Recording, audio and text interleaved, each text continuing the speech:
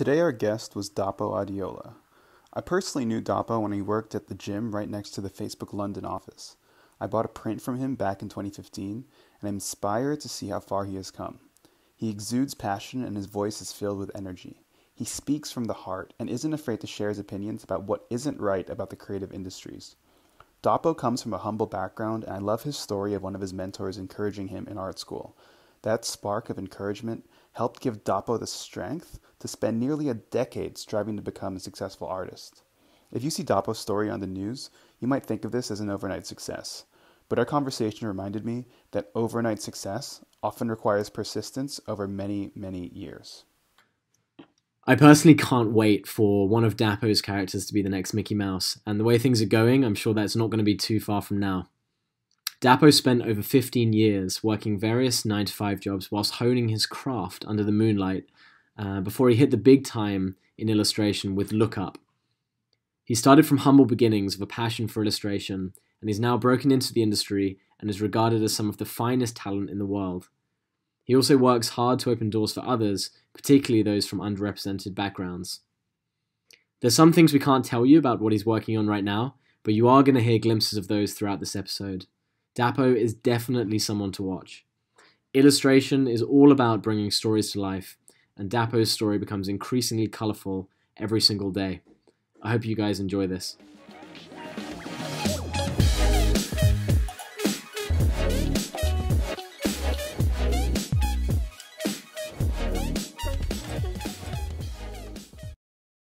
Anthony was right about the very first one, which was, Okay. Um, I studied um, graphic design at a degree level, graphic design and advertising. The reason I studied that course was because I had no idea that illustration was a thing that I could do, that someone that looked like me could do, and that's a very, very important thing because, um, you know, in school I read up on illustrators, Quentin Blake, Ron Searle, favorites, my favorites, Dr. Seuss, these, you know, and they were all old, elderly, middle-aged looking white men. And there was never a black illustrator. I never saw that. I never ever saw that as a kid, ever. I didn't start seeing that until I was in my mid 20s and I was looking abroad. That's where I saw it. I didn't see it on these shores. I saw it in America. In America, there were black illustrators. There have been black illustrators. They have a rich history of black artists. You won't Right. find that anywhere else in the West, right? Like you, we've got it over here. There are black British fine artists, but it's not as Yeah. rich a history as you can find amongst African Americans, right? So I was always looking over in that direction. Couldn't find anything over here. And because I was looking and it was so detached and so distant, I couldn't imagine myself as a black British boy doing that. I just always thought, you know, oh, it's only going to be in America. It's only going to be in America. So I just kind of fantasized about it from a very, very safe and comfortable distance, right? So I thought, well, if I can't be an illustrator because, you know, only Americans, um, I can definitely be a graphic designer, right? So, you know, and also graphic design at the time, I'm a Nigerian as well. So graphic design at the time was the only reputable thing I could say that was art related that I could tell my guardian at the time or any members of my family that I do without them thinking, oh my God, what the hell? You know, it sounds nice, graphic design. Oh, I'm a graphic designer. You're not going to be like, oh, he's going to be a bum. Like, you're not going to think that. If I said I was a fine artist or I painted, they'd be like, what? You paint walls? What's, what's going on? They, it's just, you know, art is not the thing that we champion, right? So because of that, I chose graphic design and advertising. I went through the three years of my course, tailoring every brief that I got to allow me to illustrate. Craig Burston is the guy's name who we're talking about here. He was my Professor? lecturer for the first year. Yeah, he was my lecturer for the first year, and um, first year is, is where he kind of he's he's the lecturer that has to look after all the all the fresh kids in the first year, you know, and he's very fun as a result of that. He understands we're youthful, we're exuberant, and we want to get stuck into. We want to be creatives, you know. We want to be creative. So he's very fun. He's he's a great teacher like that. Really great guy. And um, he had me for the first year. You know, he really. I think first year was where I really excelled. Second year was a challenge. Third year was just like, okay, I've got my groove. I know what my thing is. I am the group, the the year group. I'm the illustrator of the year group. Everybody knew me as that even though I didn't embrace the title because again, I just couldn't really see, I couldn't join the dots.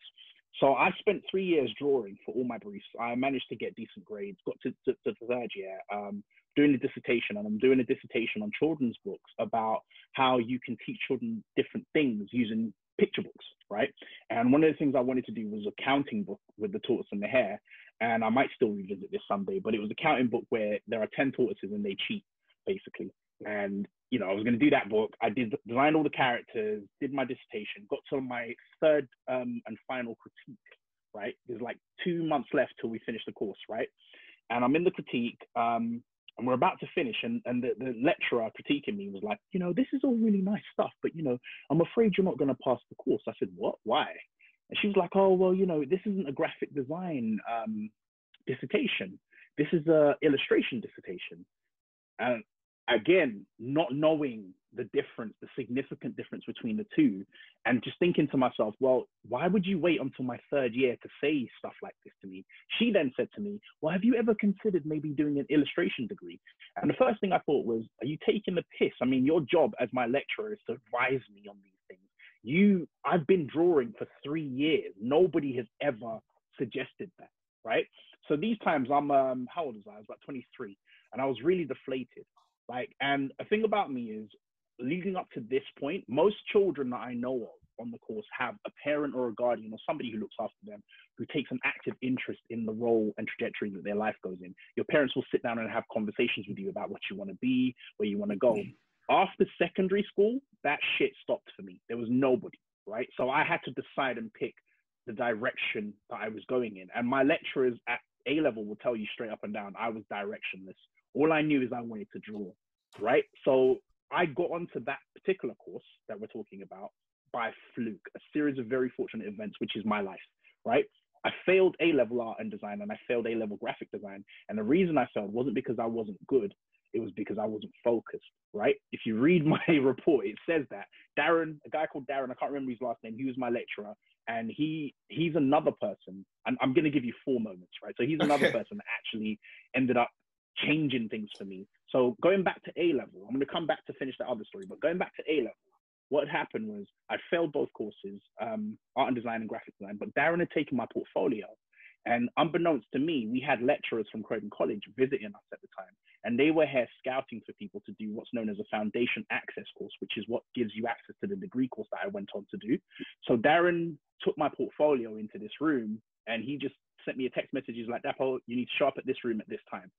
So I just showed up, not knowing what to expect. And my work's on the table, and these two guys are sitting across from me, and they're like, "Oh, this is really good work." I'm like, yeah, I know it is. It's my work, you know. and they were like, "How would would you like a place on our foundation degree course?" And I was like, "Yeah, fuck it. Like, I mean, I'm not going anywhere after this. I've just failed both of these courses, so you know, got onto the foundation course, aced it, had a great time on there, and then ended up on this degree course to be sitting in this room three years later talking to this lecturer who's telling me I'm going to fail. So, as the person who doesn't have anybody to, you, I can't go home to my parents and expect them to fight my corner. I can't do that because there's nobody at home that, that would take that kind of interest. So I was deflated completely, left the course, and just didn't bother showing up for the remainder of the two months about a month and a half in, I get a call from Craig. He's like, Dapo, you haven't attended for, for over a month. What's going on? Like, um, do you want to? And I told him, you know, I'm not coming back. And he was like, okay, well, before you make that decision, can I, you know, can we sit down and have a talk? And I, I came in and I told him what had happened. And, you know, he was really crushed. He was just like, that's really shit.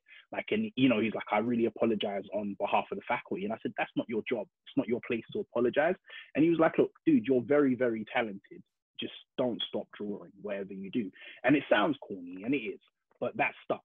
Like that really, really stuck. And I remember there would be times after that where it just came back and it it it, it kind of sat on my shoulders because again I was like 23 at the time. So fast forward a couple of years now to my second transition period. My transition sorry, period. Quick quick question on the first one though. So when he yeah. said you're really talented, don't stop, hmm. was that the first time that you'd felt so much support when it came to like confidence in your art skills? Is it the fact that that's he said it when you were at a very big low? Time. No, that's literally the first time. That's literally the first time anybody who had that position of power has ever said that to me. Mm-hmm. Like literally the first time, friends will say it to you. You know, your friends they love you. Oh, you, oh, Dax is amazing. He's a brilliant artist. He's fantastic. That's your friend. That's yeah. part of their job, right? Yeah. Because they'd be pretty shit friends if they were like, "Oh, you're terrible." Like, yeah, yeah, yeah.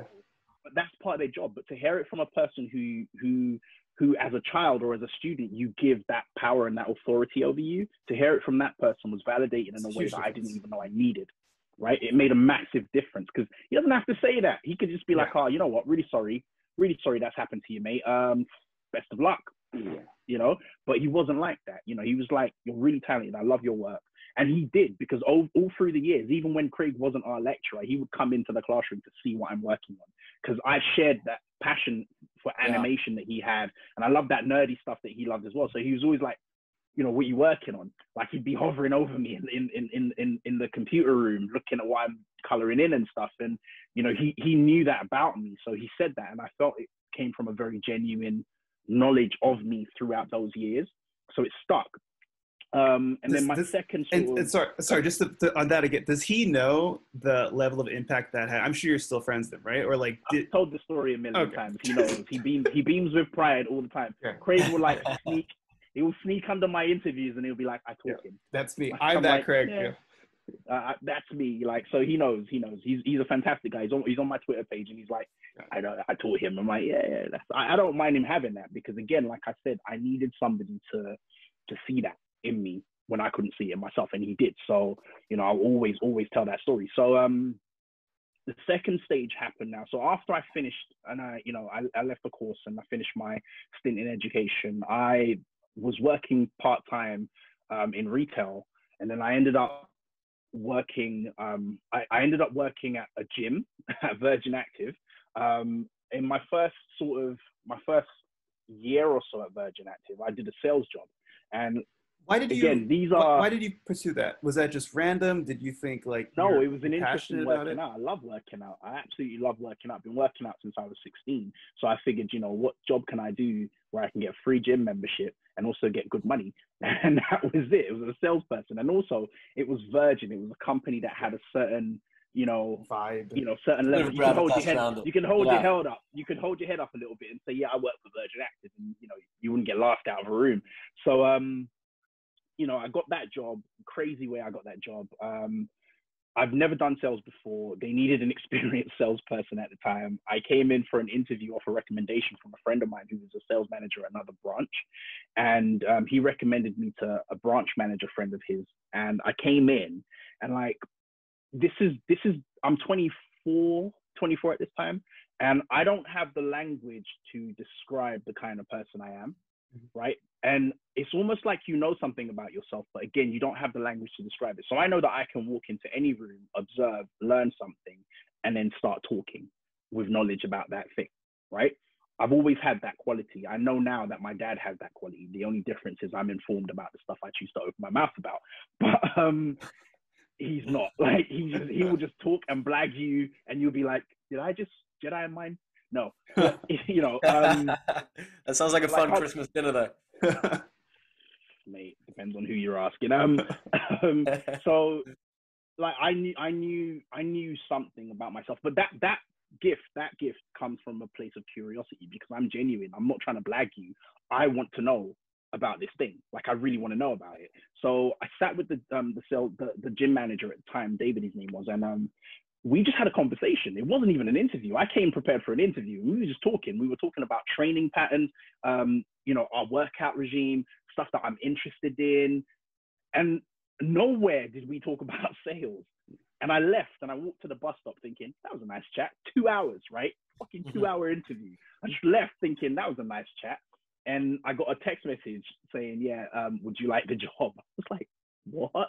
Didn't even ask me any questions about like sales history. I mean, I, the, the most interesting thing we talked about re- regarding um, working was that I had been working since I was 14 years old, right? And I told him a story about how I got my first job and all of these things. So he made a call based on my personality as a person, based on my ability to keep him talking and keep him engaged. He made a call. I had no sales experience, right? So I started this job um, as a salesperson and I excelled. Like I smashed all my targets on a monthly basis. The person who then got the job of my sales manager, who started on the same month as me, is now a really good friend of mine, Lamont. And the thing is, Lamont was a um, previous salesperson, high achieving salesperson, who then you know, got promoted and became a sales manager in her own right. And she often tells this story about me because she had no choice in my hiring. And her story is if if she had had a choice, she wouldn't have hired me because I had no experience. However, having worked with me, she would have slapped herself in the face basically because it was like, what the hell? You know, we we her and I were a, a team, and we went from because I started in Holloway, and we went from Holloway and we moved to Regent's Place together. That's how I ended up at Regent's Place. When she left, she called for me to come over, and I came over. And at Regent's Place now, I'm 25 years old. I'm in sales. Um, it's okay, but I can't stop drawing. I can't stop drawing. Like I draw all the time in my spare time. I'm on the phone talking to new customers. I'm doodling. Was I'm it just- everything? You're just drawing whatever came to mind, or were you still kind of This time it was completely it was completely undisciplined. I was just drawing whatever the hell I wanted to draw. Very Yeah. self-indulgent. And um, I was coming up. I was 25, and I just remember thinking like I did my first job. Right, um, an ex-girlfriend of mine at the time. She was with a carnival band, and carnival's another thing I love doing. And this was how my love affair with carnival started. Notting Hill Carnival, is. And um, she was with the carnival band, and she was the costume designer for the band. And she had approached me and asked me um, to help her design some t-shirts for people to wear for 2008 carnival. So I'm like, okay, cool. You know, um, I did three designs, loved them, and I was like, oh, I still got it. And then, you know, just as a token of appreciation, because it was an unpaid job, she had asked me to come to the carnival and see, you know, experience the carnival for the first time, and also to see like all the people that had, because they sold out of t-shirts, and I, You- you, know, you'd never been see it. to Carnival before Never then? been. I, Oh, no, really? I've been. I've been twice. I've been twice. Okay. Different stages of life. I've been when I was really young. Didn't appreciate it. Scared the shit out of me. Um, I've been the year before, 2007. I went with my niece, and she was really young, and it scared the shit out of her. And as a result, I didn't have fun. But then this year, no kids. I'm old enough to get drunk and appreciate. It's also the first time I ever got drunk at 25. Um, wow, amazing, amazing. Year of year of Just first. like an American. So, right. So I've come. I've, right? I've come to I've come to this carnival uh, with two of my mates, and I remembered it was such an amazing experience. I, I recommend it if you ever if you haven't been. Notting Hill Carnival is fantastic. It was such an love it. amazing experience. It's- right, best time of the year in London. It was it was an amazing experience, and the the thing the cherry on top was seeing hundreds of people wearing something that I had designed. So Yeah, so I mean, go- yeah, that's amazing though. Just like stopping for that there for a second, right? You'd you'd gone from writing these illustrations and getting some recognition from one of your professors. Um, you kind of dropped it for a while, and then suddenly, in the real world, at something you're immersed in, you're seeing your art in the world. in live in real time in, in just Yeah. happening and people people wearing the tops and enjoying themselves so i was just like this is amazing i want to feel this you know again Yeah. and it stuck with me and um this is 08 now 2008 and we come into 2009 and it just wouldn't leave me it just would not leave me and i remembered i just i transitioned i moved to regent's place in october 2008 and i just had a um, a conversation with my then um gym manager, the general manager, you know, at the end of the year, and I just said to him, "Look, man, I don't want to do sales anymore. Like, I, I want to, you know, go part time, and I want to become an artist. Like, and I want to learn what this thing is. Because again, still not an illustrator, not daring to call myself that, you know. So I was like, I want to learn what illustration is. I want to figure this out. So when we hit March 2009, I went part time, um, became a receptionist took a massive, significant pay cut and started to patchwork together an education in illustration from any resource I could find, online courses, anything that I could afford, because I couldn't afford to go back and study it properly. So I had to patchwork together some sort of education. And I just started to take on commission work in 09. I started to sort of try and experience as many different things as I could. I did live art. I, you know, drew tattoos. I did anything that I could kind of put my mind to. I did logos. And then all the while, while I'm working, I'm also trying to learn the craft. I hit so many brick walls uh, when it came to the extent of my talent. Like, because talent can only take you so far, right? Like illustration, like any other creative thingy, is a process of problem solving, right? So it's all about how you think the amount of the, the way that you draw is is relevant but it's not as relevant as how you think And I bet you not going or being able to go back to kind of traditional education to teach yourself it helped you develop that skill set of like, how do I think about what I'm doing as well? Because you're problem solving shit. for that to- at the same time. I had to figure shit out on my on my own so it, it created a sort of independent spirit as well because i wasn't depending on anybody to, to Yeah, get the right. answers i needed like i had to patchwork this thing together the only downside is it takes so much longer to get to places so much longer but The upside of that is because it took so long to get somewhere, I appreciate that arriving at that destination so much more than anybody that got there quicker. That's Like I, that's, I just I appreciate I never take it for granted. That's beautiful. You I mean, what, what was going through your head at the time? Because okay, so you clearly were inspired by what happened at Notting Hill Carnival, but to straight up tell your boss, "Yo, can I just like work part time and pursue the my my art aspiration at the same time?" That like that still requires a lot of bravery and courage. Did you think at the time, you know, I'm going to be a great artist, I'm going to do some great things, or did you think this is a side hobby that I'm taking more seriously that I'll start spending more time on? Like, what was going through your head? Were you completely into this long-term huge ambition, or you like, let me try the art thing a bit now? Like, clearly the Notting Hill Carnival was a signal, but what was going through your head? It was the try the art thing. And the reasons I gave myself were I don't have any kids. I don't have anybody that's dependent on me. So if I'm going to do this thing right now, is the time to do it. Right? If I'm going to do it, it's going to be now. It's now or never. I'm 25 years old. You know, you get into that age, right, where you have to kind of start making adult decisions. If not, if you're if you're not already there, you have to get there. So like, you know, I'm like, I, I've got no kids, I've got no wife, nothing. There's no risks Yeah. here, All the risks are very minimal. So if I'm gonna take any risks, I'm gonna, you know, if I'm gonna leap, let me leap now. So I did, you know, and I'm at that stage. I still have no kids. I still have no wife. But if were I to settle down as a, as as a you know to, to go to go into that other stage of life that you go into, were I to do that, I could do it so much more confidently than I could have back then, knowing that I'm doing it. And, and one of the things I used to say as well, these these were my my two little anecdotes that I would give when people ask me questions about it. Like I had people always come up to me whenever I was drawing in public, and they'll be like, "Oh, what are you doing? You drawing?" I'm like, "Yeah, yeah, just drawing." Oh, this is brilliant.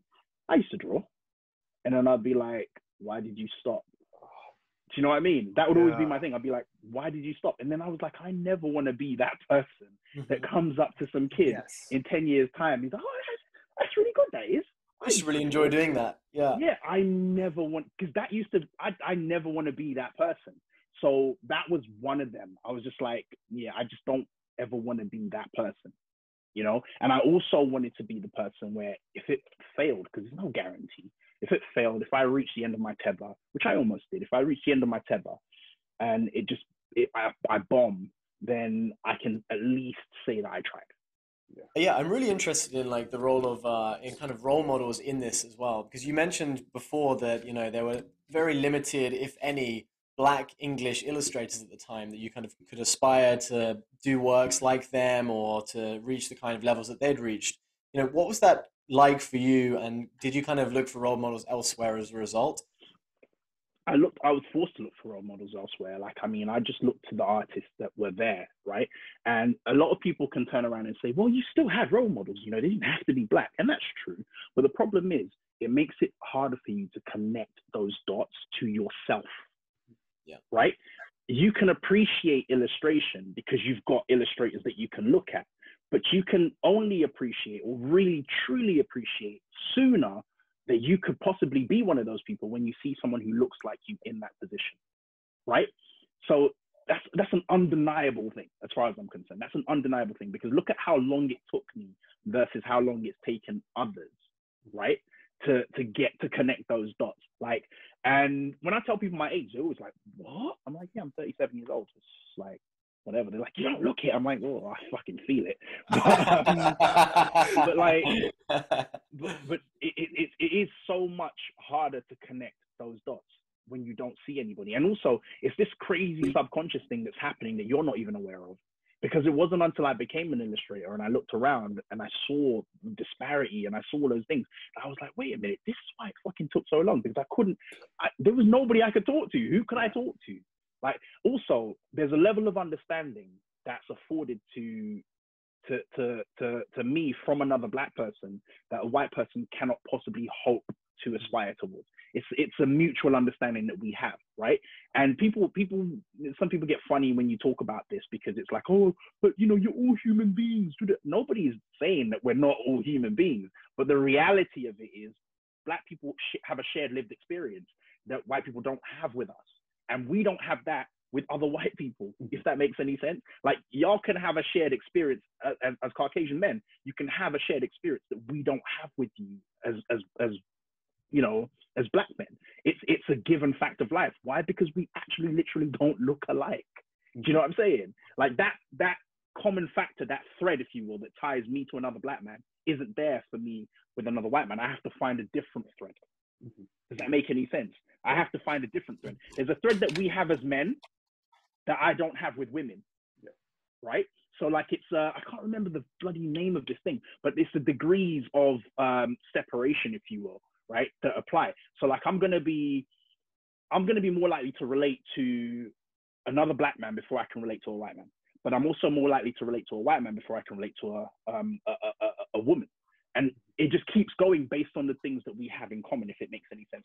The higher, the, the more things we have in common, the higher the possibility of us being able to relate easily, almost bloody telepathically in some cases. Yeah, and I want to, I want, I definitely really want to come back to this uh, in a little bit as well because I know that you know some of the books you guys have uh, have written, illustrated in, um, have been kind of taking social issues that you deem to be important and writing about them for children, and so kind of making yeah. them, you know, digestible for kids. Yeah. Um, but maybe we could just quickly go back to so you you decided to go part time um, you're illustrating the half the time. Second, that was the second key pivotal stage of all of this stuff, right? So this is when I decided to become an artist and just go for it and see what was good. So fast forward, we're going to jump ahead. Um, Ten years later, um, I've gone from in the early stages of this in 2016, just after we'd had the whole art in the square thing um, I've never voiced this to you, so you don't know this, but I have said it to other people. But um, I was in a really in a rut, like a, a bit of a shit space. Um, and I say that because there wasn't anything particularly horrible happening to me, but I had been going at this speed with my art and my career for such a long time at that point, right? Mm. So it had been um, 2016. It had been six years at the time. I've been going at it. So one of the things is I was incrementally but slowly moving forward, mm. right? Never moving backwards, just moving forward, occasionally sideways, but you know, Sorry, moving forward. How, how do you measure point, that? Go ahead. Like, how did you like? Okay, six years. That's a long time, and and of course we can't get into every single day of that six year period. But like, what would you mm. consider progress? Is it like each month you right. saw that so, people so loved it more? you know, this like, is what I was. So this is what I was going to go into next, right? So what I would consider progress, right? Um, so the the beautiful thing about art, and you know, I explain this to people, people who don't understand how we make money, right? Every single time a person buys a piece of work from me, right? A few things happen. They buy the work, and either they gift the work, which means another person gets to discover my work, and then become a fan, right? Or they display the work, which mm-hmm. also means whoever sees the work becomes a potential fan, right? This way, there's n- almost no cap, no limit to how far my work could possibly go, right? There's almost no limit. That's how I like to think about it. And also, the great thing, Anthony mentioned buying a print from me. Anthony bought this print in 2016. Yeah. Do you know when I illustrated that piece of work in 2010? That piece of work from 2010 still sells today. And all I have to do to make the 40 pounds that I sell the print for is, um, is click a button yeah. which says print. And all people have to do is go online. That's the beauty of art. You can make work from way back and it still sells. Every time somebody clicks a button, buys a book, your work sells, right? So going back to answer your question, um, I noticed that. I saw that my my sort of fan base was growing. The type of people that were buying my work was growing. It was growing. I could see that. I could feel that. But the thing that I found that was frustrating was that I always seemed to be breaking even. At the mm-hmm. time, at the gym, I was working on average maybe a day, two days a week, right? So for the money I was getting, because it was minimum wage, I was averaging about 500 pounds a month from my paycheck at the gym.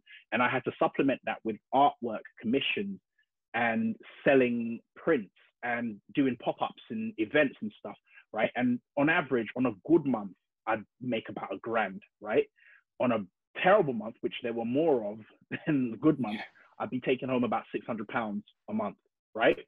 I found just so many different ways of hustling the system at my workplace. So like I, I would do a thing where like I sold, we had a subsidized gym membership or a free gym membership that we could make available to somebody. I'm saying this now because no one can, you know, so I, I sold mine and I took, I took, I took like 40 pounds, I took like 40 pounds a month from a friend of mine and he bought it and he was able to use the gym as and when he wanted to and he paid me. Right. So I supplemented my wage in those kinds of ways.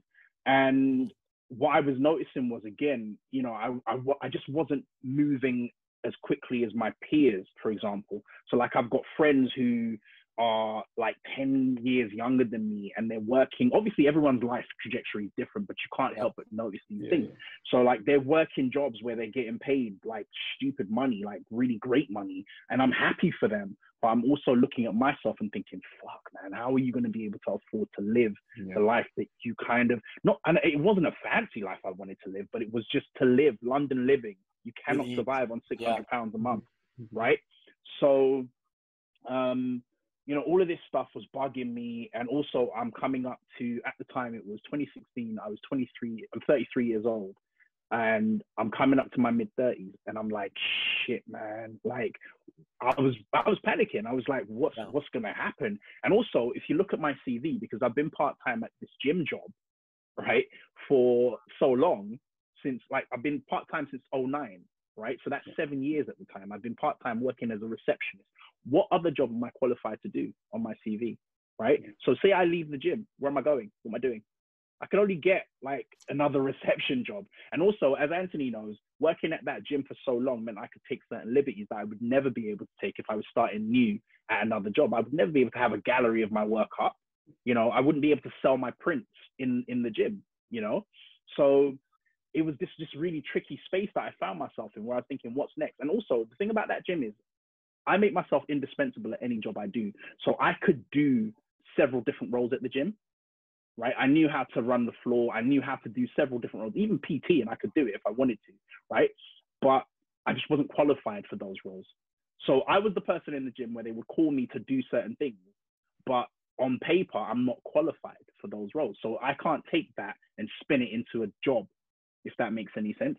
So mm-hmm. I was in this really sticky place in 2016. Now, in 2016, I'd also signed up with my agent, who's a lady called Sallyanne. She's my agent. She's my agent for four years now. And I'd already signed up with her through Nathan because Nathan is a, is a very talented and accomplished screenwriter, right? So at the time, he was an actor on this show called Benidorm.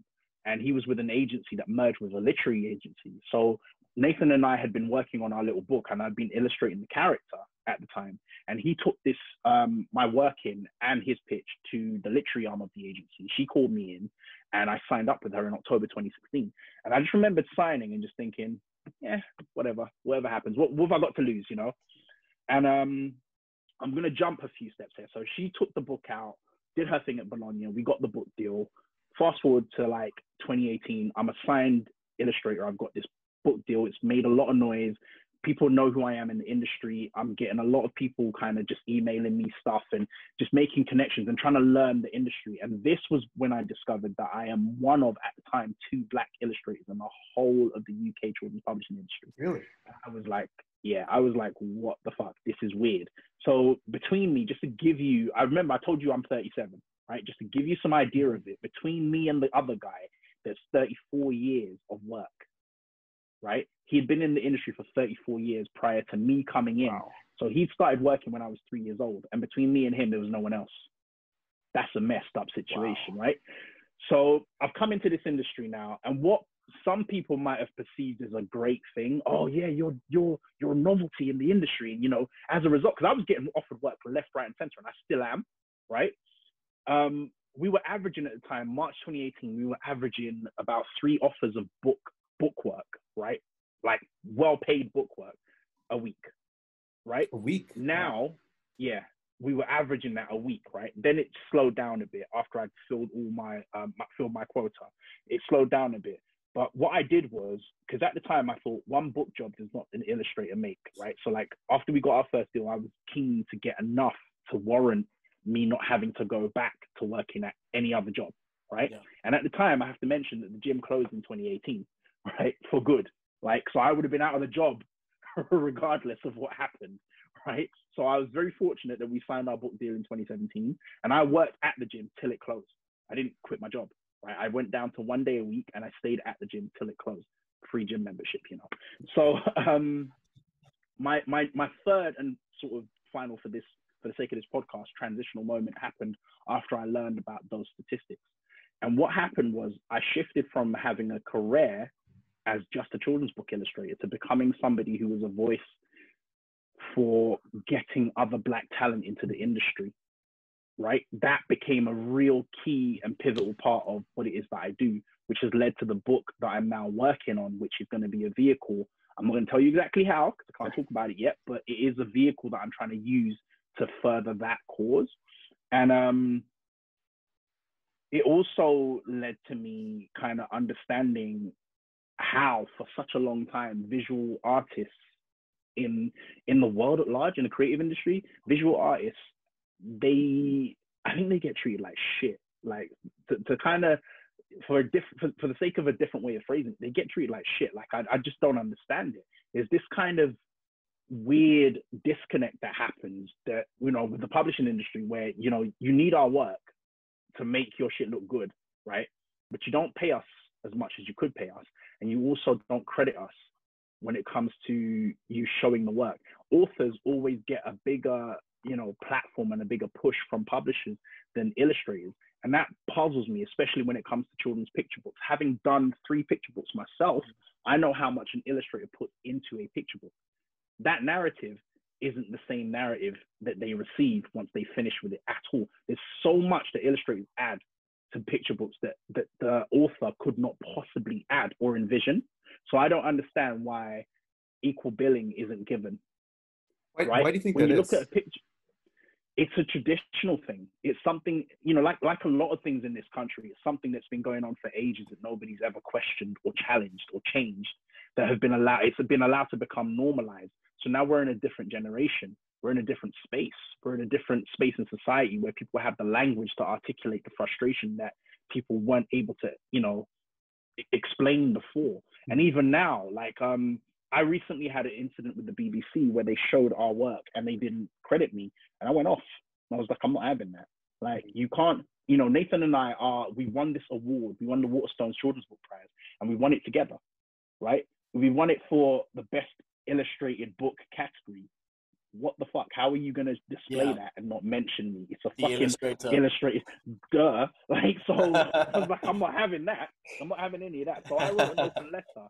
I wrote an open letter to the media at large, and we now we're at like something like 850 signatures on the letter. And you know, I, I wrote this letter, and it was about crediting artists for their work. It was about the frustration that I felt at having that happen to me. And what's happened since is that people have come forward and given me accounts. People who have been in this industry for years, like years, people who I looked up to in the industry, they're like, you know what, Dapo, I normalized it. And you're absolutely correct. I shouldn't have had to. Like, you know, when we talk about mental health, it's something that we love to talk about so much right now, and for for um, very valid reasons, right? But when we talk about mental health, we don't. I I feel like we don't attach it to certain people. We pick and choose who we can attach it to, if it makes any sense. Now, imagine what it does to your mental health as an artist, putting so much of your time and energy into a product, and every single time it gets brought up in a positive light, you your name gets dropped out. You Mm. don't get mentioned. This is the primary reason why I absolutely fucking refuse to work on any celebrity authored books. I'm not doing that Interesting. because the celebrity author always supersedes near, near enough and everybody. Like the illustrator, you'll see it. Sir Paul McCartney, his name's huge, and then illustrated by Dapo Adeola. Yeah. Just really fucking tiny. Like fuck off. Like I'm not doing that. Like I understand why they do it. I do Yeah. get it, right?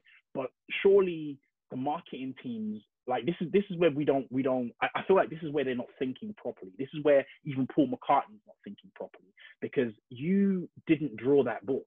It's an illustrated book. Yes, your name is the name that is selling the book, but you also worked on that with someone. Do you know what I'm saying? Yeah. Like this person worked on that book, you know, and what kind of jerk are you? And I'm just gonna get a bit heated when I what I'm about to say, but it's the truth of it. What kind of jerk are you if you allow that to happen? I could never do that. Like my, you know, for want of a better, because I hate this saying, but for want of a better phrase, my celebrity is rising. Right? My star is rising in this in this world that I'm in at the moment, and I know that this my first book as an author won't be my last book as an author. I want to work with illustrators, and whenever I work with an illustrator, I'm going to give them an equal billing, equal platform, equal everything. It's 50-50. I might even fucking sign an agreement with them saying this because I just don't I don't want to do that. It can be done properly, so I just don't understand why you know why why it's been allowed to be done this way for so long. I think I think we live in a world where standing for something is more value than ever before because it shows a certain level of authenticity and trust in the fact that you know clearly what you just said you're not like reading off some corporate comms uh, press release that some pr consultant gave you. This is how you truly feel about the world and i think that's super valuable now and that's what people love and want to hear now.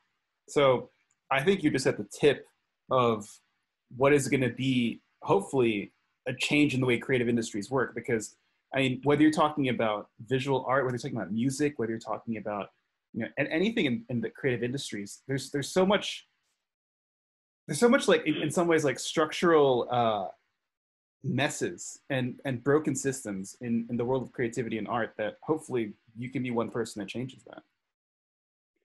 I tell you what, if it happens, it happens honestly, it won't be for lack of me trying. Yeah. But one of the things, just for myself, for my own sanity, I'm trying not because these things can quickly become a distraction from you actually doing the thing that you love doing, right? And at the moment, I think I've garnered a reputation in the industry for being quite combative when it comes to these things. And um, you know, it's it's not a problematic thing, but people know that I'm going to speak up on something. But I also don't want to, and this is where it goes back to what I said earlier about um, allowing these conversations about representation and empowerment to deviate from the work that you're doing. I'm still an illustrator. I still have books to put out. I still have things that I need to do. So I need to kind of have that beautiful balance, which I think I've got, of speaking up on these things and actioning things that can help change the landscape but also still drawing and doing the thing that I love doing, you know? So I'm trying to, again, what I try to do is, as with this book I've, I've just written, I try to use the books to make the change.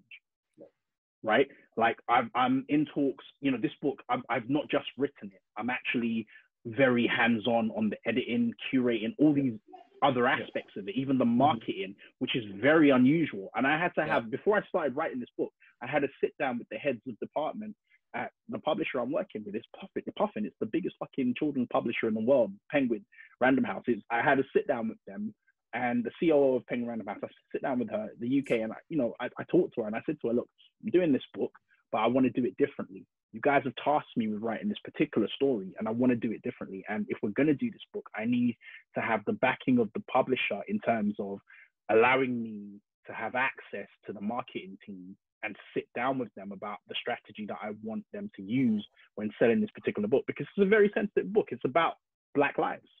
Mm. You know, I'm not going to say matter. It's about is, Black lives. Is, is it a children's book?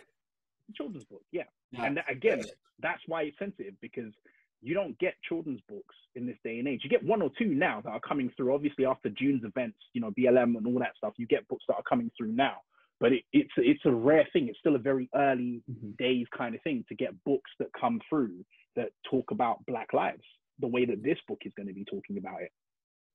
I'm I'm really intrigued about the kind of creative process behind taking a really complex social issues and kind of disseminating them into a children's book. Like, what does that look like when you're thinking about creating one of these kinds of books? I have no idea and the reason, I can, the reason, the reason, the reason I'm saying I have no idea is because yeah. I have yet to see what this is going to do. You know, like again, this is you guys are you guys are the first people getting the skinny on what I'm writing. Nobody else. I've never mentioned this publicly to anybody, so this is the first time I'm saying it. Even as I'm saying it, I'm thinking, oh shit, my publisher's going to have something to say. To say We're live, by the way, broadcasting gonna, the whole world right now. So yeah, this well, is. well, it's out now, but you know, also it's it's um it's not easy. That's the one thing I'll say. It's not easy. There's a lot of things that you have to think about, you know, um, and and more, more times it's not even the things I have to think about. I'm not thinking about them with regards to children's ability to understand, right? I don't I don't doubt that children can understand. I'm not, you know, selling children short. What I am thinking is within the restraints that the publishing industry gives me, the box that I'm in, that I have to tell this story within. for it to be something that they can conf- confidently publish. Yeah. That's what was difficult, right? Telling a story to kids ain't hard. You tell a mm-hmm. story, kids will have questions, you answer the questions, right? Kids are always going to have questions, and the more questions, the better, right? That's not the hard part. The hard part is giving the publishing industry something that they as adults understand how to sell. That's the hard part, right? So this this is the thing that's always baffled me about this industry. We're doing this thing for children, but so much adult interference occurs before it ever reaches the child. Right? Like it, it's trippy as it's trippy as balls, mate. It's absolutely trippy. like I'm just I just I can't get my head around that. Like so much adult interference happens before a book reaches the child, right? Like even when we're talking about book reviews, right? There are people that make a whole thing reviewing books. That's their business. That's what they do. That's their bread and butter, and they're adults. You know, have you ever been on Goodreads? I have. Yeah. Yeah. Yeah, it's it's hell. It's hell. like it's it's it's the hellscape of of, lit, of the literacy world. Like I just don't. People on book on Goodreads, like there's a whole thing. Like people can earn a living reviewing books on that site, and I look at it like that's that's weird to me. That's really weird to me. Like where's the joy? You know, because we I went on Goodreads and I read a review of Look Up, and I, I shit you not, man, I came so close to switching and going nuts on that person and finding out who they were and hunting them down because it was the, it was the only it was it was the it was the only bad review that I had allowed myself to read. I'm sure there are a couple more out there, but it was so bad that you know this person was angry at the book, like really angry at the book. You're a fucking adult. Why are you angry at a children's book? How does that make any sense? Like it was never for you. And, and without having read Look Up myself, like what, what was it about? And what were they angry about?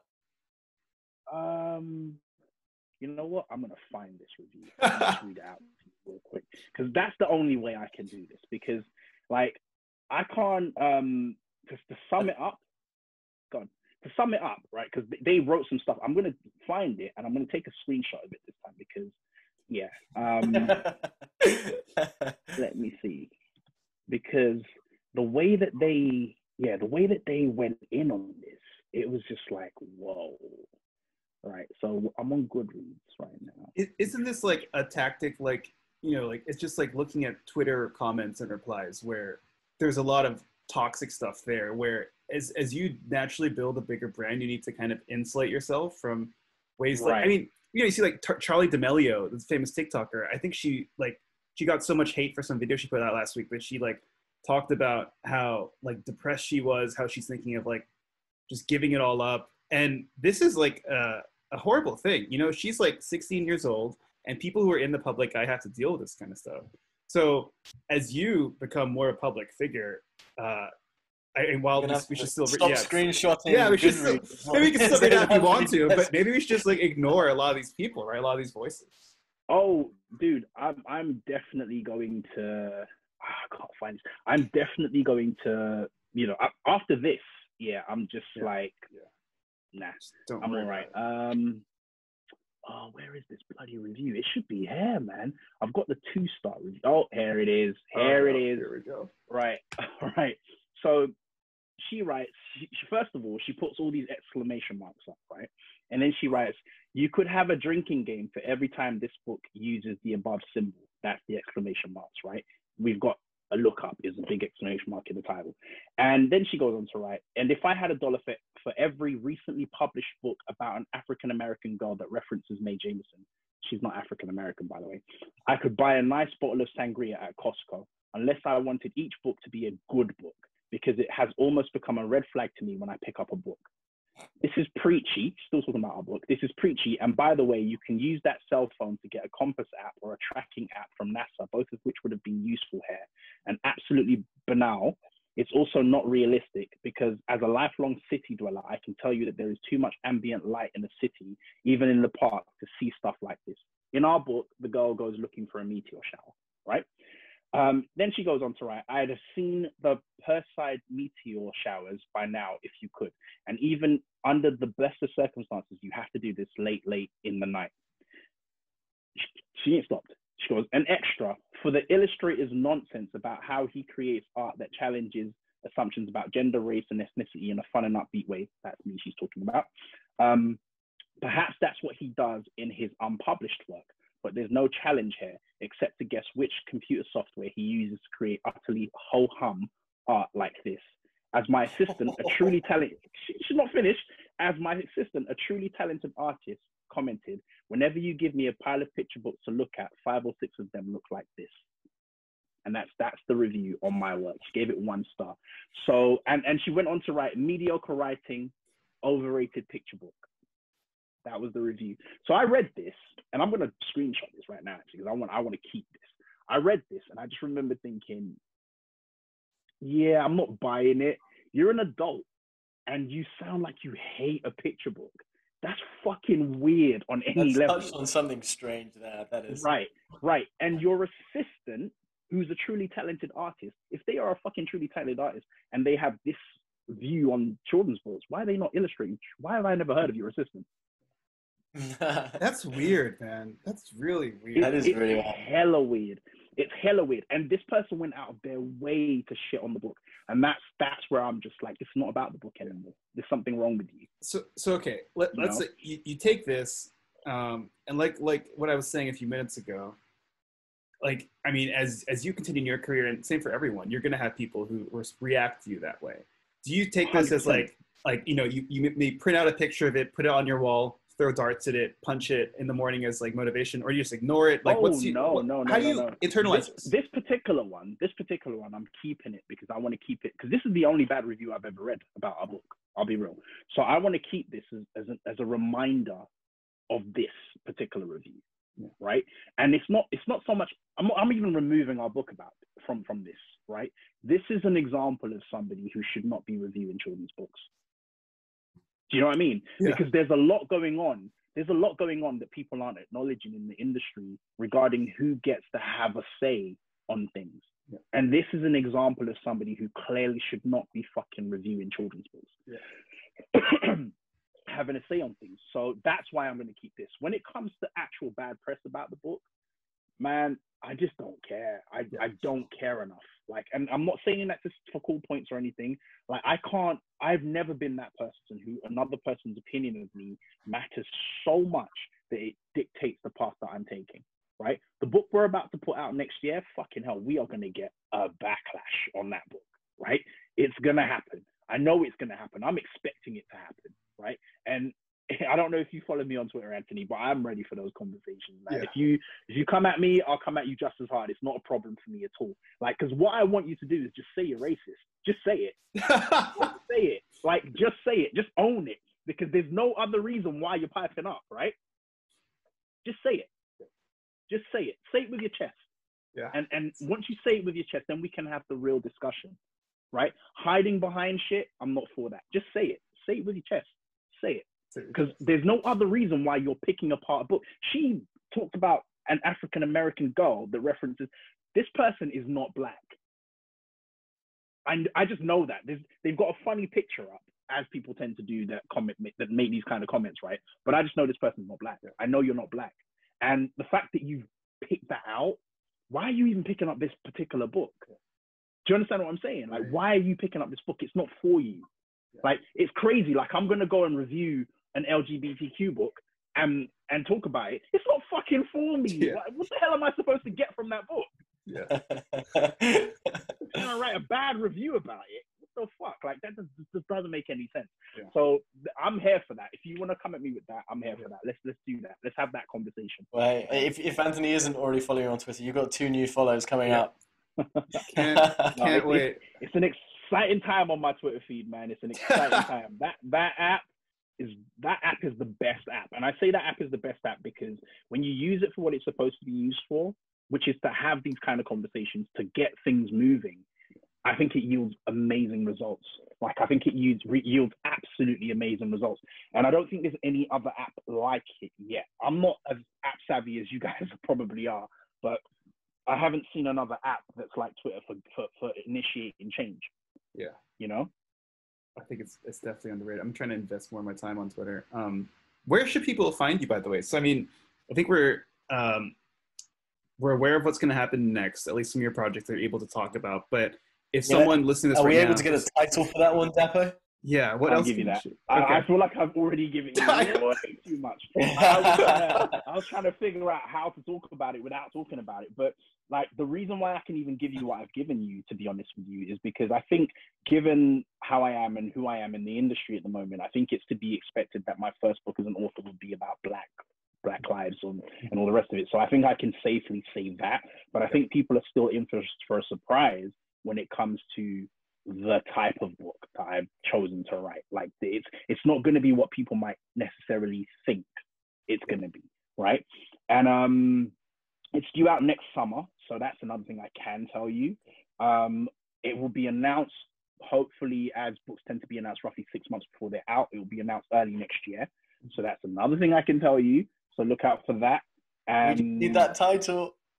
I can't give you the title. It will you, you'll you'll you'll see it in in about what we're, we're what last week of November now. Yep. Yeah, less less than two months, man. You'll you'll have that title. Like it'll be there. But um, yeah, it's gonna be good. Cool. It's gonna be good. And, and where should people find you? Should people find you on Twitter, Um, personal I have website? the same. I have the same handle. I don't have a personal website. That's another crazy thing about my life right now. I actually don't have a website. I'm. I was supposed to have one two years ago. I just couldn't be asked, and I, it, not to sound cocky, but I just it would be a waste of internet space right now to have a website. Yeah, yeah, So um, you can find me at Dap Straws. That's D A P S D R A W S, and that's my handle for Twitter and Instagram. So at Dap Straws. Um, Instagram, if you want some nice pictures and sort of tidbits of my artwork to look at, that's the best place for that. If you want artwork and my loud-mouthed opinion, then Twitter is the best place. And I, I think we have more of a. That's what we want to engage, if you want to engage more, Twitter's definitely the best space. Like you, you get to see more of the full picture on Twitter than you do on Instagram. Pardon the expression. That's a weird, yeah, it's weird analogy. And you also you also mentioned you're always working on new projects. Um, you know, who do you want to get in touch? Is there anyone you're looking to Hmm. create with? No, no, at the moment, honestly. And I say that because give you to give you an example of my workload, I'm currently working across five different publishers, and I've just finished my I, I finished what would be my sixth book, and I'm working on my seventh, eighth, ninth, and tenth and eleventh at the moment. So I'm working on like five books at the moment. How how does that work? I'm working with some. Like I do don't you- know. I, when, okay. when I know, I'll let you know. Because Okay. go on, go on. Do I? Do No, I? I, I just like I just don't know like let's say I'm just like really curious and maybe like probably the podcast can like like we'll edit all this stuff. But I'm just curious like if you have five books going on, is that like just like working on five projects at once? Like I know you spend day one on book one, book A, Tuesday you work on book B, and they all have similar timelines. Y'all put it at the same like it, how does that work? You know? so it doesn't work and um, you would you would wish you would want it to be like you work on five books here and five books there but what it ends up being is for me anyway because again i'm still very new to this and i'm actually still learning how to be a children's book illustrator. That's another thing i didn't my you know my work before this. It wasn't what it is now right? So like i'm learning how to illustrate books. I'm learning how to not only illustrate according to what i know but push for each book. So I'm juggling that. Like I'm currently doing a course on color and light at the same time as illustrating this book that I'm doing at the moment. So um, it doesn't work, is what I'm trying to say to you. Like I'm trying to figure out how to do it properly. So what I've ended up doing now is I work on one book at a time. So like I'll spend a week on this book, work it all the way up to a point where I can submit work to the publisher for them to get feedback. And while they're doing the feedback on that, I'll jump on the other book. So sometimes, yeah, so sometimes a book is gathering dust for ages and publishers are really on my neck about it. But one thing I learned is publishers are happy once you give them something. You have to just give them something. So I'll spend like, you know, three or four days because you need three or four days on a book to get a good, build up a good kind of, you know, pace. And I spend about three or four days on a particular book, then I'll drop it and jump on to the next one. I'm in the draft stage for about four of the books at the moment, and I'm doing work that I really love for for all of them. Um, and once I submit the draft work, Is is it uh like uh, the way that you build them up? Are you building up like ten pages with full color to finish, or do you do the sketch work first, submit that, Sketch- then add color? draft draft work first. So Yeah, right. I, I, I do I do draft work first and some color samples so that they can have an idea of what the finished work would look like, and that helps them join those dots to understand what the draft work is going to look like. Yeah, right, right, right. So for one of the books, the picture book I'm working on, I've done, um, I finished the first draft. I'm doing the second draft now, but I've also, off the back of the first draft, done some color um, examples. So they know what finished, they've got finished samples, so they know what the finished work is going to look like, right? It. So now I'm cleaning up the second draft so that once they've approved and signed off on that, all I have to do now is color that in. That's the fir- that's the second and final pencil draft. And now they'll leave me alone to just do color work, right? And color work can take about a month to get done fully, right? And that's what I'm hoping. I get the whole of December to finish this book. Um, and, and that's the same or a similar process for all the books. So currently I'm working on two picture books, one fiction book, and um, a book cover, and then my own book as an author and an illustrator, Yeah. right? And, and it, So- for, the, for the four or five that you're working on right now, is the, these um like ideas you've had, or are you co-creating with? Uh, is it Nathan you, you mentioned before? So um, one of the picture books is with an author I can't name. Um, and again, when you find out who this person is, I don't know how much you know about UK literature, but she, she uh, they are very um, almost almost you almost got me there. I heard they are a very they are a very very well known, very significant author. You know, in, in the UK um, publishing world, and that that for me will be either a career changing or a career defining book when it comes out. Hopefully, I've got my fingers crossed. I love what I'm doing at the moment, and I hope that you know the world receives it as intended. Um, so with that, she's written that. I've said it. She's written that, um, and you know that's her her book, her idea, and I've come on and I've added my two pence. I'm fortunate enough that this person has given me the liberty of being able to really put my touch on this. And I love this. I love that we've done that. Like there's so much more to this particular book, which I'll get to talk about when when it gets Mhm. announced. But until then, this is what I can tell you. It's gonna be hopefully it's gonna be the game changer that I hope it will be.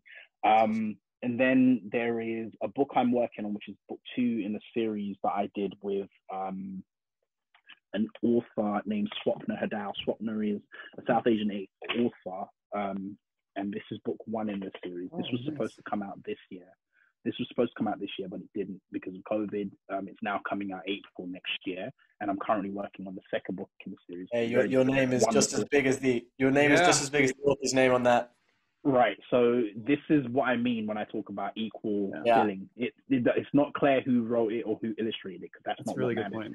It's Yeah. a collaborative project between the two of us, right? So like if you look at like book one of Look Up, right, it says by Nathan Bryon, Yeah. illustrated by Dapo Adeola, right? So book two in the series, Clean Up, I got them to change that, and it now Oh. says just our name. I love that. Hell yeah, you got some sway in that. That's awesome. it's a it's a small touch, but it's a very significant touch. no, but that's significant for you as a creator. Yeah, and it's also significant when people are talking. It should be when people are talking about the book, they should be saying, you know, this person and that person. And and what we're trying to do is, and it will happen hopefully in my career lifetime. We are trying to get people to change the language they use when they're talking around picture books. It shouldn't be written by and illustrated by. You know, Yeah, yes, you can yes, you can talk about that. Yes, definitely you can say who drew it and who wrote it. But when you're introducing it, make sure that you are making people understand that it is a collaborative process between two people. Co-created is the term that you should be using. Hey, I have a question as well, right? So you, it took you 13 years from that pivotal moment at age like what, coming into age 25. Um, Hmm. was it 13 years or 18? It's 13 or 18? One of the two. 12, 12, to 13. get, yeah, to get here. To get here, right? From that time when you were like, hey, now or never. Mm. So 12 Mm. years from now, what does this look like for, for you? Uh, ooh, that's a good question. 12 years from now. So this is what's wild. I can tell you this. So this is what's wild. I've recently done my first um, stint as a character designer for development on Warner Bro- with Warner Brothers Animation. Wow. So that's now brought me into the world of animation, Yeah. and I'm about to go on a stint with Disney um, as a character designer as well. So I forgot to mention. From huge. Five, apart from five books, I'm also drawing cartoon characters, which is great. Um, Not only for but for Disney as well. That's amazing. That's that's huge. That's the biggest it gets, right? Dude, I didn't even go looking. They came knocking, and it was mad. Like I, I I'll tell that story another day, but Oh. it was mad. So both I, I can tell it now. wait for the time. first Disney film with you having drawn the main character. dude. I'm if it because the thing I've learned about animation is not everything you do um, sees the light of day. Sometimes things live in purgatory forever, and you know, occasionally projects get picked up and get made, and then you're lucky. So I'm hoping that the one that I did with Warner Brothers does see the light of day, and I will get to work with them on the production. But I've done some character designs for the development um, stage of it, the pitch, and the Disney one. I'm not sure exactly what stage that's in, whether it's in production or not, but um, we'll see. But I've got that job coming as well, and both these companies came knocking. I was not looking to get into animation for a hot minute, and both of them came knocking. So I said no to Disney the first time. Yeah, first two What? times I said no to them. Said no so to crazy. Disney. You know you're not allowed to do that. dude. That's why. That's why they couldn't. That's why there couldn't be a third no. I said no to Disney twice, which then made me say yes to Warner Brothers, and then Disney came knocking again, and I was like, okay, nah. It doesn't matter what you're doing. It doesn't matter how much you burn out. Just say yes. So I said yes, and um, I'm excited about this particular project. I can't talk about it again, but I am super fucking excited about this. This is right up my street, which is another reason why I said yes. And um, you know, what, what I'm trying to do in answer to your question, I'm trying to build these relationships because what it does is it opens up the world for me going forward. The potential is almost infinite in the creative industry right now when it comes to working in animation or working in books. Um, things again are going to change when I become an author, right? I'm also going to be an author now. I'm also going to be an illustrator. It's um, one of the projects I'm doing next year and the project I'm doing this year. I've made the decision to be more hands-on and more involved. Like, so I'm curating, co-editing a project that we've got that's going to come out next year. That, that that's going to be announced next year as well. So that puts I'm wearing different hats, and my grand plan is something that I've always had from the beginning, which is at some point in this whole thing, maybe in the next, it might happen a lot sooner because things tend to happen a lot sooner than I planned. But in the next decade or so, because uh, again, 37 coming into like my 40s soon, and that'll be another decade of life. And I want that to be a very different decade for me as a creative. I want to be an owner in that decade. And when I say an owner, I mean somebody who owns the lion's share of whatever it is that I'm putting out because it gives me that creative control, not because I want to stunt or be the big boss, but because it gives me that creative control to not have my voice watered down in any way whatsoever. Right. So that's my goal. And how I'll achieve That's that, right well, I'm trying to stay away from that kind of that kind of thing because I, I have mixed. Fe- I even have mixed feelings about the capitalistic aspect of the capitalist aspects of what it is that I'm doing right now. Right. So like, it's trying to figure out how to, and it is. I think it's possible. How can you be an ethical, um, ethically successful capitalist? Mhm. Can you be? Is it possible? Yeah, and I, I think think, you it. I think it is. I I think think, you you can. can. I think You need the I money to make have the sway to bring your vision into being. So Right. I think I you think so. can. I think you definitely can. But I also think that this is my thing. I, I never want to be a billionaire, for example. That's not my goal. I don't think billionaires should exist. I just don't. Like, I, ju- I feel like that you're hoarding. Like, look at the disparities in the world, right? We're going off on a tangent, but I'm going to come back. But I feel like I, I just don't ever want to be that. Like, if even if I end up at that because a particular thing I did becomes so crazy successful, I'll give away enough money to take that zero off so I'm no longer a billionaire, you know, because I don't need that to, to live on this. I don't fucking need that. Who needs that? just right? a 999 millionaire. Yeah. Like, if I'm a 500 millionaire, I'm cool, dude. What the hell? What what else do I possibly need? Yeah, that's pretty cool. Right? That is pretty What cool. else do I possibly need? Like, even that, that's like Jesus. Like, you, you, you're never gonna spend that in your lifetime. Like, and you know, what, what else do I need? So that's my thing. I never want. That's why it's, when we talk about empire, I'm like, yeah, let's cut that motherfucker up and split it so that other people can have a chance, right? I- um, I would love uh, the next Mickey Mouse to be one of your creations. Mate, it'd be uh, it- I would love be- that kind it- of it- character, that kind of gravitas, all of the creative Iconic. control over it. well. I Iconic. tell I, I tell Yeah. you one thing. like Rocket has the potential, the character for our picture book. She has the potential. It's been optioned. It's actually going to be made into an animated series. So she has the the potential it's, to become. that's confirmed. It's it's going to become an animated series. Is that another Well, scoop that you It's just? been optioned. Okay. It's been optioned. So when something is optioned, as I've come to learn, it means that the potential for it to be made is there. So a studio has bought the right to make it, basically. So what they're doing at the moment is they're having talks with people like Disney, Sky, HBO Max, these kind of companies to see if they want to take it and you know make it into a thing. So That's, that's so fascinating. Like, what what constitutes something that can be optioned? Is it that the, that character is particularly compelling? Is it that they're multifaceted and they can do lots with it? Like, how does a character it has to optioned? it has to it has to have appeal right? So the the appeal has to be there so that whoever wants to put their money down to option it can see the potential for it going on to becoming something other than what it is. And that's what happened with the studios that wanted to option look up we were we had about four offers for that right? So it was decent. Like it was you know there was potential and people and, and you know as, as it's been optioned um, it went to a small studio in the uk and they've gone out to get partners to help them put more money into it so that they can approach big networks, right? And every time, every conversation that we've had around it has been a positive conversation where somebody's keen to hear more about it, right? So, like, you know, again, those those companies I mentioned, those networks I mentioned, it wasn't a coincidence. They are all networks that are potentially interested in having this property. So we're just waiting to see. And all of this, all of this is a journey. All of this mm-hmm. is a learning opportunity because I don't know exactly verbatim what it is that I want to do later on, but I do know that it, it involves being in control of the narrative, right? And in order to be in control of the narrative, you have to learn the different ends of things.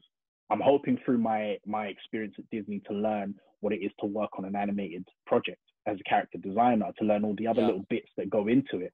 But what I'm also hoping to do is if we're going to talk about the 12 year plan or the 10 year plan where I see myself, I see myself in the next five years, and I can give you five. I can't give you 10 yet, but I can give you five. I see myself in the next five years in a position to write my, my own series, illustrate my own series, and then to option it and have it picked up and made into a show, which I'll also be show running. Love That that. is where I see myself, right? And once that's been achieved, then we move on to the 10 year plan, which is to have my own publishing house where I'm also publishing those books and I'm also publishing other people's stories as well. So there, there's, it's all possible. Hmm. And that's the glorious thing. That's the comparison from where I was in 2016, where I was just couldn't see, you know, I had the plans and the dreams, but I couldn't see it. There's also something, now. yeah, there's something particularly compelling about the fact that you you target children, right? Because these these are going to be the future. If you can get in with these kids now in 10 to 15 to 20 years, these are going to be the adults who are having children. You know, it, So- it goes, it so- turns down generations. One of the craziest aspects of what I'm doing right now, right, is my friends are all having kids, right? And all their kids are growing up on my content. And that's, I, I don't even understand. I didn't get it until like World Book Day um, this year. We had 200 plus kids dressed up as Rocket. And a few of those kids Wow. were my friends' kids. And it blew my fucking mind. I remembered sitting there thinking, holy shit, like we're, we're really doing this. Like, and Yeah. imagine friends' kids who I've met, right? Like friends, kids who I've met before I became the guy who drew draws look up, right? That's like that that Notting Hill experience. I was gonna say- in your career on steroids. Times right? a hundred. on on Yeah. on on on absolute crack, basically on crack. Like, because this is a global thing now. This book has been to places in the world that I've never seen ever, right? And like, you know, one of the things that that hit me, kids, my friends' kids who you know they've met me before, like. All of a sudden, they meet me again and look up as their favorite book, and I'm just like, they're looking at me so differently. They're like, they don't want to Yeah. talk to me. I'm like, I've Dare I say they're looking up to you? yeah, yeah. so, so, something, so, something of that nature. But like, it's just, it's just so trippy, and it's so, so trippy. And this is, this is the thing that dawned on me. It's like, I, you know, I, I try not to think about it too much, but I do think to myself, like, there is a certain amount of responsibility that comes with that in the kind of stories I want to tell. And this is where I'm at now. I'm thinking about the kind of stories I want to tell. I'm thinking about you know what I want these children to remember, especially the black children. I'll be honest. I want them to have, I want them to have things that I didn't have as a kid, You know, I want them to have, you know, so a, a lot of them are fortunate in that, you know, their parents are of a certain generation, so they think differently. But at the same time, there are still a significant number of black children who are the product of children that are now adults that were raised by people like the people that raised me, who mm. didn't instill them with all those virtues and all of those things. And as a result, they may not know to instill their children. So I'm making books essentially for that child. You know, it's great if a child who's had all of that stuff gets to see more of it in my book, but it's essentially for the kid that doesn't, hasn't had all of that stuff to see a place That's- where they can get it. Because I tell you one thing. Yeah. I tell you one thing, books saved my life. So it's no co- coincidence that I'm doing this. Yeah. Books reading was my escape. Like I, I didn't have a particularly great upbringing, um, but reading was my escape. Reading was my only escape. So it's weird that I'm now working here, doing this. It's meant You to know, be. offering children the opportunity it's so to. Yeah. Yeah. This yeah, guy. That's, that's that's me.